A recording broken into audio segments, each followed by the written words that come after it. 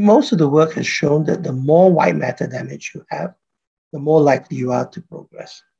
But of course, um, there's ongoing research work to see whether we can um, make uh, a better prediction.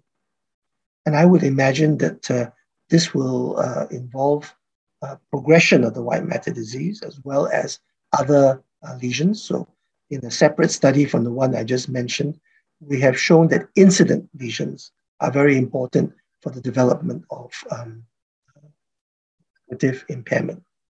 Um, but apart from these longitudinal uh, markers, what about cross-sectional baseline markers?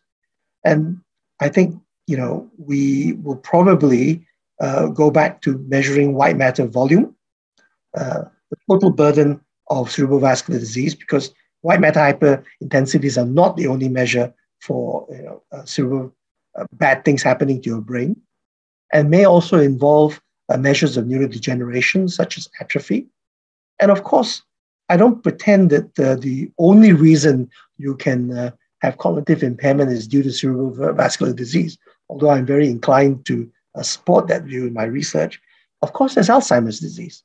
So uh, I think that we probably will have to also fit in uh, markers of uh, Alzheimer pathology. Now, of course, the good news is that all these things are becoming possible and more accessible as well.